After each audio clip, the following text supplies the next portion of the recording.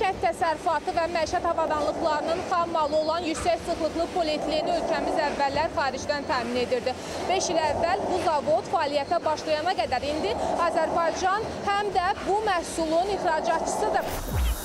Qazdan alınan bu xam maldan 14 adda müxtəlif məhsullar istehsal edilir. Təhlükəsizliyinə və emal rahatlığına görə tələbat da çoxdur.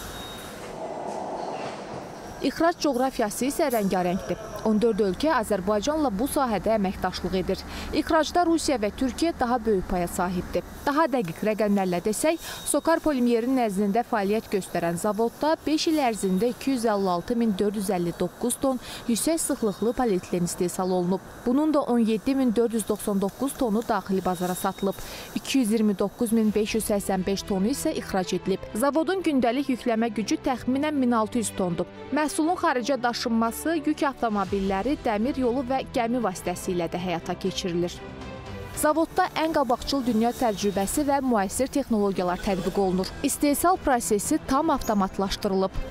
Bizim əsas xam malımız Azərkimiyadan etilen məhsulu və hidrogendir və bunu ilkin etapda emal etməklə, daha sonra reaktorlarımızda halqavari sirkulyasiya reaktorlarından keçirməklə orada egzotermik kimyəvi reaksiyalar baş verir.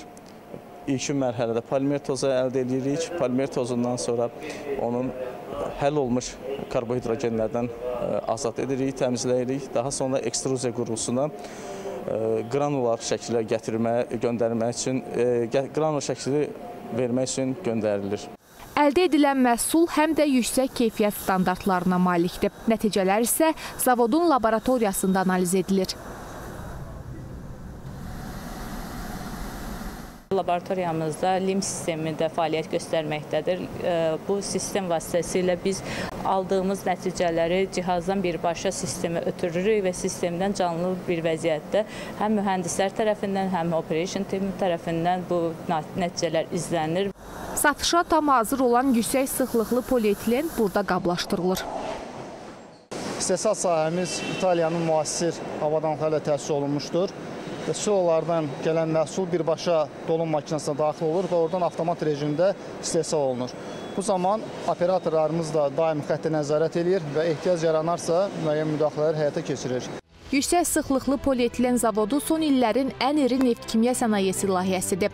Zavod ölkə iqtisadiyyatının ən mühüm sektorlarında zəncir rolunu oynamaqla yanaşı, həm də qeyri-neft sektorunun inkişafı baxımından da əhəmiyyətlidir.